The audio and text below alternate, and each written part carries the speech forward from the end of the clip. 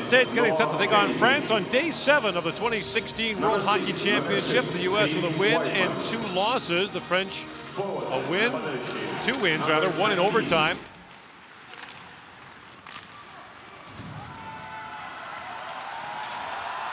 What a move by Ovichu in, and the rebound batted away there by Connor Murphy, but a penalty coming to Team USA.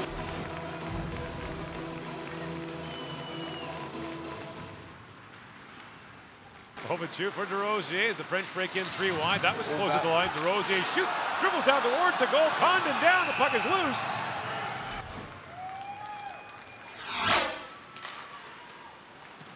Get a quick shot, that deflects wide. Hardy down, rebound, score! Wideman in, fires it home into an open net, and the power play goal gives the U.S. a 1 0 lead.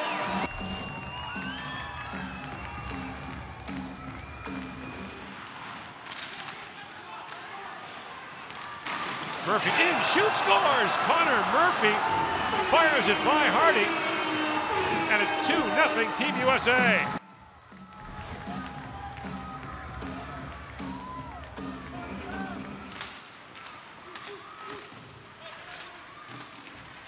Matt Hendricks looks in the corner now, centers it, Compher shot, scores!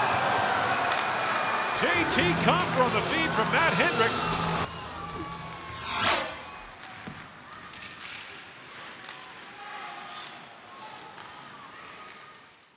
Skjei works in, scores! Brady Skjei whistles that through the traffic.